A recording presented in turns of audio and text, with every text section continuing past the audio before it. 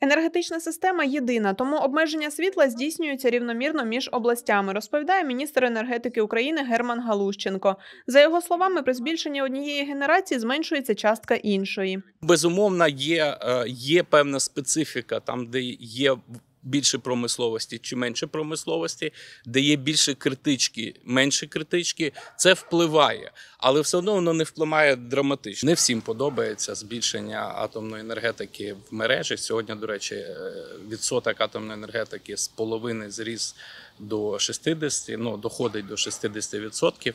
У Миколаївській області, окрім атомної станції, під'єднано майже 600 основних потужностей, та ще 170 становить генерація за допомогою вітряків, говорить очільник Миколаївської обласної військової адміністрації Віталій Кім. Наше постійне використання близько 360 МВт. На зараз є ліміти там 120, але будуть, ну, якщо будуть відключення аварійні. Якщо пан міністр там ми продивилися систему щодо вирівняння там до справедливого, можливо, будуть 200. Тобто ми дві щонайменше вдвічі виробляємо без атомної станції більше ніж споживаємо. На зараз ця структура формується таким чином, щоб в нас відключення були на 2 години не більше.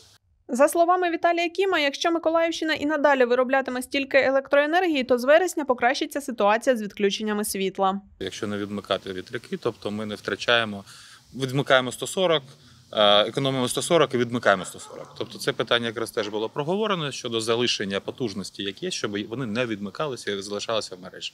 Це якраз резерви внутрішні, які можна використовувати. У випадку, якщо російські війська завдаватимуть ударів по енергетичних об'єктах, Миколаївська область готова до найгіршого сценарію щодо відключень світла, розповідає Віталій Кім. За його словами, електроенергію споживатимуть тільки за допомогою вітряків. Юлія Голокос, Юрій Руденко, Суспільне новини, Миколаїв.